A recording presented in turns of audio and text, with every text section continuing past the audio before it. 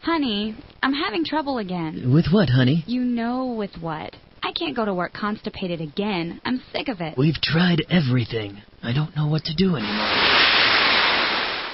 Who are you? I'm Captain Doodoo, and I've come to save the day. If you're constipated and you need to poo, you can count on Captain Doodoo. You only have one option here, ma'am. I will shrink myself down to the size of a pickle, fly through your colon, and fetch the doo-doo. Gross, Captain Doo-doo. I'm afraid it's your only hope, ma'am. Now drop your pants. If you're constipated and you need to poo, you can count on Captain Doodoo.